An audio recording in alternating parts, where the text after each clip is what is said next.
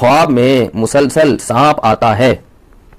मुझे और मेरे छोटे बच्चों को भी। इसका हम क्या करें? स्प्रे लेके सोया करें साथ में।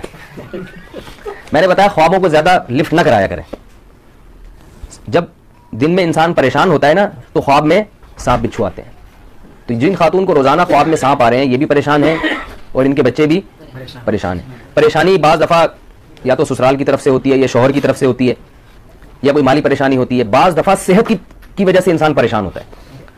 नहीं कोई टेंशन नहीं होती लेकिन सेहत खराब होती है।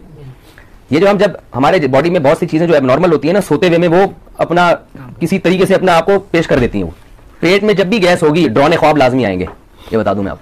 मैंने बताया ना कि मैं उल्टी सीधी बातें नहीं करूँगा जो है वो इंशाल्लाह वो बताऊँगा आप जब भी पेट में गैस होगी और आप सोएँगे कब्ज होगा तो ख्वाब कभी भी सीधे नहीं आएँगे। आपको चुड़ैले भी आएँगी, बंदर भी आएँगे, सांप भी आएँगे, बिच्छू भी आएँगे। आप कभी बिल्डिंग से गिर रहे होंगे और सड़क पर पहुँचने से पहले आपकी अलहमदुल्ला आप मिल जाएगी।